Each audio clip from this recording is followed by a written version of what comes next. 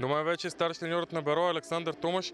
Господин Томаш, началото по нищо не предвещаваше да донесе такъв край на срещата. Първите 15 минути бяха доста по-добри за вашия тим. Какво се промени след това? И, мисля, че първото по време така беше по-доброто за нашия отбор, с изключение на две-три контри, които позволихме, но мисля, че момчетата даха всичко от себе си. Просто последните 20-30 метра трябва да работим още, неща, които трябва да подобряваме и завърши удар. Днеска още първата минута имахме ситуация, могахме да отбележим. До края по времето имахме още две ситуации.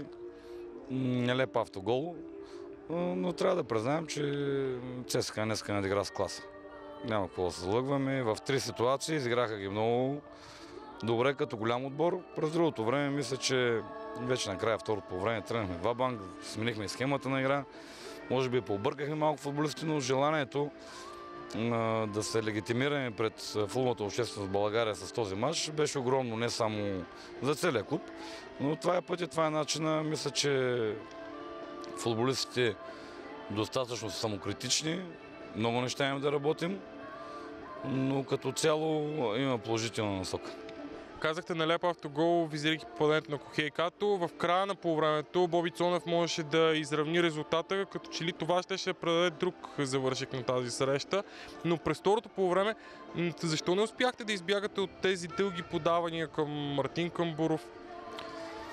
Защото започнахме да се поуморяваме. В единоборствата ЦСКА седяха по-здраво, печеляха почти всяко второ единоборство и искахме да избегнем тези единоборства и да печелим втора топка. Но не успяхме, не се умяхме. А и има и други причини, но ще ги анализираме пред момчетата. Можем повече, естествено, работим и се надявам, че всеки един матч ще изглеждаме по-добре. Спечелването на средата на терена, това ли бе ключа към победата днес? Не само това. Аз мисля, че ако бяхме отбелязали първи гол, бяхме замислили по друг начин да играем. Щяхме да изнервим ЦСКА. ЦСКА, когато ми вземеш топката, са отбор, който се така поизнервят, започват да губят позиции. Това не беше целта, но не се умяхме да вкараме първи гол, а имахме ситуациите. Да разбирам ли, че през второто полувреме се подведохте по стила на игра на ЦСКА? И ние, ако се бяхме подвели по стила на игра на ЦСКА, ще да победим. Благодаря успех за напред.